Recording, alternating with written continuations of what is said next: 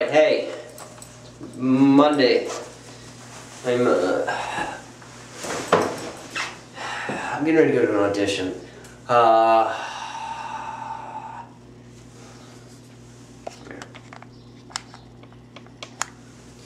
basically, it goes like this. Okay.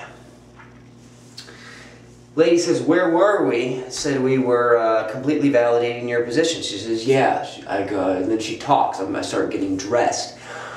She's like, "Yeah, this uh, point completely validates the mayor's position as it has from the beginning. What's more is that it cost of three million dollars. Three million dollars of the government." And I interject and I say, "Taxpayers." And she says, "Yes, a taxpayer's money that wasn't spent on teachers or police officers." And I say, "Good."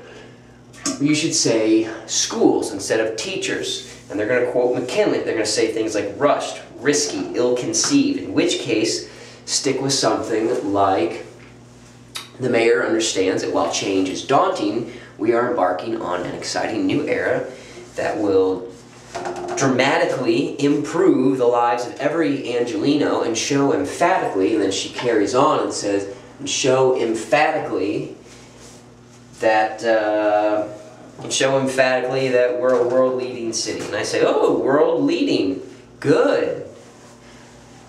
Uh, how long until the cab gets here? 10 minutes. Shit. I continue fucking with my tie. Although I'm really good at tying this tie, so that makes that actually kind of hard. Um, uh, I say Measure K is gaining traction. Measure, ah, damn it. I, yeah. Um, Measure K is gaining traction. Call Roger Goldstein. If he doesn't want to play ball, ask him if his wife knows about the Crab House in Baltimore.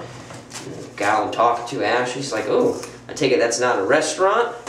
Not unless they've changed the menu. Um, I finished my tie. How do I look? She says, she's seen better. And I say, the mayor's in good hands, you're going to do great. That's it.